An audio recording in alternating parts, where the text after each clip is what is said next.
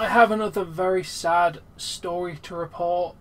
It was announced yesterday that indie wrestler Danny Havoc, best known for his work in CZW, Combat Zone Wrestling, from 2005 to 2017, and Game Changer Wrestling, has passed away.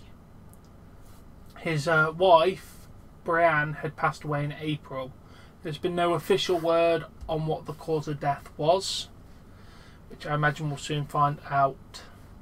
Uh, but Combat Zone Wrestling and Game Changer Wrestling both put out statements.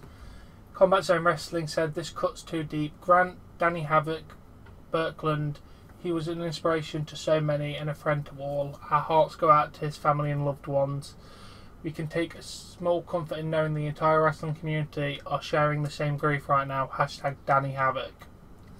And Combat Zone Wrestling, sorry, uh, Game Changer Wrestling put with a broken heart, the GCW family mourns the loss of Grant Berkland, aka Danny Havoc. Danny was an incredibly talented, intelligent, and generally caring person. Uh, he was also an elite performer that entertained a generation of fans and inspired a generation of aspiring performers. Like those that passed before him, his legacy is secured by the memories that he bestowed upon us as a wrestler and as a friend. He will not be forgotten. Rest in peace, Grant. Very tragic when someone passes away so young. He was 33 or 34, I believe. Honestly, may he rest in peace.